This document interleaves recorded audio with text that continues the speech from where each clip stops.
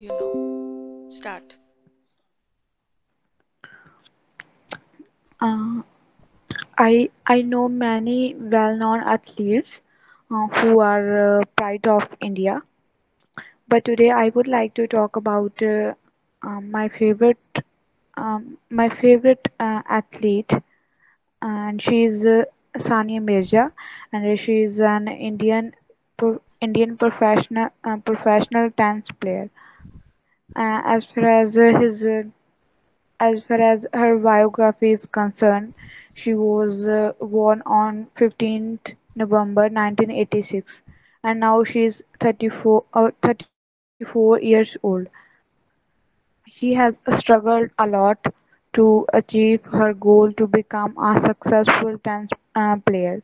First time I came to know about her uh, when I participated in a tourn- in a tennis tour- tournament, and uh, I explored uh, many vid- uh, many interviews of her to get many to to got many points.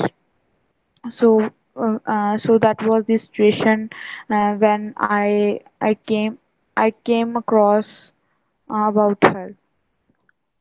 Okay, what he or she has achieved and explain why he or she is हाँ जी ये famous. करती हूँ हाँ जी she has won many gold medals even she has won six grand slam titles in her career. So she was the first uh, indian female uh, player. That's why she famous. And the government of india also uh, also awarded many times uh, has awarded her many times like the awards uh, she won like Padam Bhushan, Padam Shri and Arjun Award. As they are uh, as these are the famous awards are given to to well-known personalities. As uh, it is as she's very famous in India because she has struggled a lot and with a lot of hard work she beca- uh, she reached she reached at a good point as in 2000 uh, in 2005 2005 a muslim uh, ऐसे भी कर सकते हैं ना भी एक 2005 में uh, मतलब जो मुस्लिम लोग थे group of Muslim issued a fatwa against her that she is wearing un Islamic clothes like T shirts and uh, No, no, skirts. you don't mention anything related to religion. Okay, Okay, just talk about her general achievements and it is wa- one, not one, one. Okay, and then don't okay, mention her specific date of birth. Just mention that she's around 34 years old.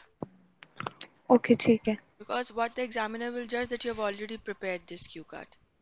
If you talk about the okay. specific dates and years, so don't talk about specific dates and years.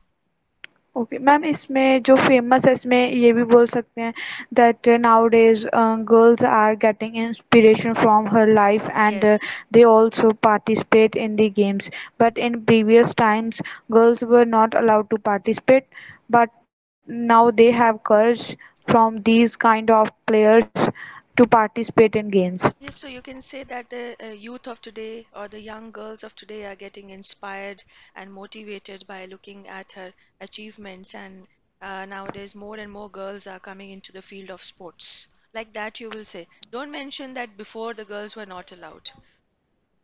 Okay ठीक है Okay? ठीक है